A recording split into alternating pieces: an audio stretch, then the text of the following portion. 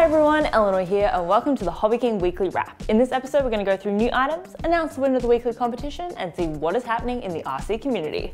Let's get into it. First up we have the new items of the week. We had a range of glass fibre cloth with various thickness and sizes, new 2.5 metre Tomcat X-Tail slope gliders, a blue and yellow composite sport and a red and white full carbon sport. FrSky R9 mini long range telemetry receivers with dipole antennas, a Case 18mm wide angle lens for DJI Osmo pocket cameras, an Emax Tiny Hawk indoor racing drone, and a Zubr Class 1100 scale amphibious hovercraft with 2.4 GHz 3 channel radio. If you haven't seen the video for it, here is some of it now.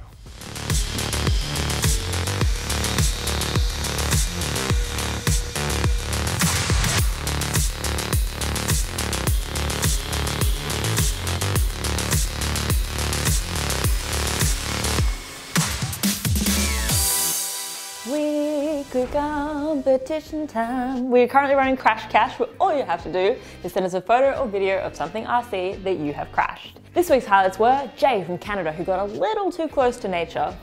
Spot the plane. Marco from Brazil, whose Vodafone branded plane went down. Like the service from time to time. David from Spain, who said, who put that wall there? And our winner was Marwin from the Netherlands, who commented that a stall turn was her last turn. Congratulations, Marwin, and $50 is on its way to you. To enter, share your pictures or video via social with the hashtag CrashCash. Or enter via the Hobby King website entry page, links are below. If you don't win but your entry does appear in the weekly wrap, you'll be rewarded with $10 in store credit.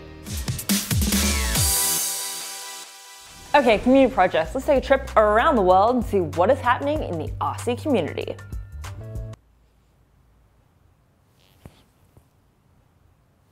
Tor from Norway took his 3D printed MK Ultra four-wheel drive buggy out for a spin around his backyard on a homemade track that features a red and white ripple strip and some sweet ass jumps. Looks like so much fun. David FPV from Italy took a trip out to a nearby quarry to take to the skies with a racing drone, equipped with an action cam to capture some amazing scenery. A very impressive location and equally impressive flying there. Valve from the US created a remote control EDF Apollo lunar module and in celebration of the moon landing 50 years ago, set up an onboard camera similar to that of the real landing. Well done Val, absolutely incredible.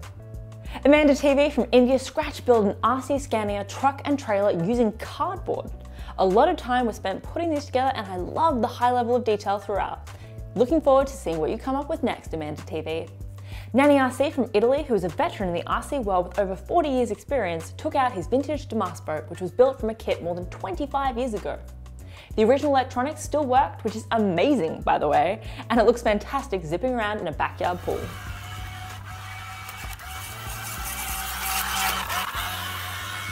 This is Nanny RC's first boat video as he usually does cars, however it looks like he has plenty more boats in his collection for future videos. And lastly, in case you missed it, Paramount Pictures released the Top Gun 2 Maverick trailer. The original Top Gun movie got a lot of people interested in the world of aviation and it would be hard to find an RC plane pilot today that hasn't seen it. Did Top Gun inspire you to fly? Comment down below to let us know. To contribute, visit the Hobby King community page on Facebook or email us at weeklywrap at hobbyking.com. Or simply tag your recent pictures or video on social with the hashtag HKWeeklyWrap and we will find it. Remember, if you happen to feature anywhere on the weekly wrap, you'll be rewarded with $10 in store credit. So that concludes this weekly wrap. If you're enjoying the show, please give it a like, share with your friends, and comment down below to show your support. Before I leave you, I just want to remind you that the Hobby King Live Netherlands event is on this weekend from Friday the 26th of July until Sunday the 28th of July at EMCR Rosenberg. So if you're in the area, drop by. There'll be lots of flying, prizes, giveaways, a live auction, and so much more. I will see you guys next week. Enjoy your weekend. Bye.